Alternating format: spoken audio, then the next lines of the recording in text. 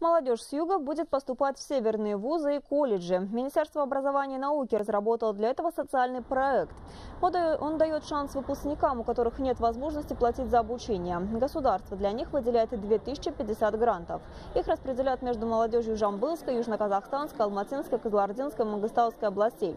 Учиться они будут в университетах и колледжах Костаная, Кукшетау, Актобе, Павлодара, Петропавловска, Уральска и Усть-Каменогорска. Обладатели грантов получат педагогические специальности. На сегодняшний день в Южном Казахстане уже подали документы на обучение около 400 человек. Льготы, конечно, предоставляются, проживание предоставляется, э, проезд, то есть раз в году они могут приехать, например, в тот же свой родной Шимкент или ЮКО, э, оплачивается цена билета туда и обратно. Потом стипендия есть, потом э, также одежда, зимняя одежда, они обязательно обеспечиваются. И плюс по окончании они обеспечиваются работой, то есть трудоустройством. Им также предлагается.